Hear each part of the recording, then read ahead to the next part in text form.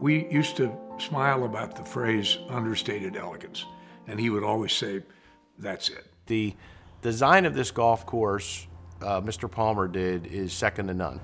Standing on the green, looking up to eight, you see the shaggy palm trees, you see the tee of eight, and you see the green, and then you see the backdrop of Santa, Santa Rosa Mountains, and then behind that's just beautiful. I could not believe how, how the mountains fit into the golf course and the golf course fit into the mountains, and it just flowed. I just loved it. How he combined the two elements into something that you'll walk away from and you will never forget playing this course. You won't. The natural beauty of tradition is amazing. I mean, the mountains are majestic, the flowers, um, it's, it's absolutely spectacular.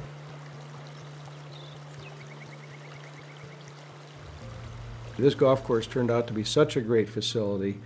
It's the ambiance, it's the serenity, it's the quiet, it's the uh, it's the people. The biggest thing I like about tradition are, are the people. They're always warm. They always say hi. Parties um, here, you know, everybody kind of gets along. Everybody gets together. The members here are genuinely some of the nicest people we've ever met.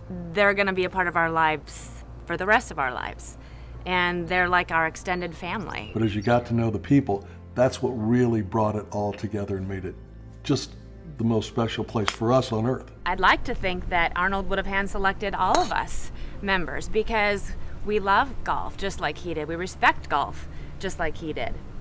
And we think that golf is the best game that was ever created just like he did. Audio Jungle. Love the fact that uh, they have a very good fitness center. The staff were absolutely amazing. So you can go in and say, oh, my back is sore. Can you give me some good core exercises? Um, I use the, have massages there, um, go to the classes. Audio Jungle. No, we love Dog Park. She mingles with the dogs and then we like to mingle with the people also because we see them every day. We only moved here a year and a half ago and didn't know anybody here, and now I've got all kinds of friends I've met at the dog park. When we come off the green of 18, I think, oh my gosh, we are part of a community here, and tradition is the perfect word for that. We're all living the dream, and we're all living the legacy that Arnold wanted this place to have. Well, after looking for 10 years from South Carolina to Florida, to Arizona.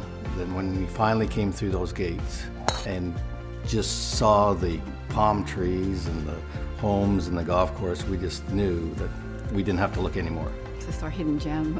you know, it's just, it really is. The moment you, you drive through these gates, like every worry, every sense of stress just melts away. We've landed in paradise.